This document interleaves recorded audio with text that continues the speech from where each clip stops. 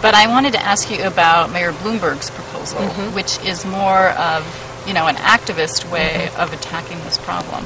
What do you think of his proposal? You know, we have always said that, um, you know, mayors, local communities should make the decisions that they think are best for their community because there's no one size fits all. What works for New York may not work in another city, and vice versa. Um, you know, their approach is not something that's going to happen that we're going to, you know, uh, be be pushing at a federal level. But you know, we applaud anyone who's stepping up uh, to think about what changes work uh, in, in in their communities. Um, New York is one example, but there are many communities that are doing, you know, um, uh, things like uh, figuring out how to build more sidewalks so that you know people can actually move and ride their bikes. Um, you know how to take public space and turn it into play spaces. So there there are many ways that leaders can get involved. One of the uh, efforts that we have with through Let's Move is Let's Move Cities and Towns.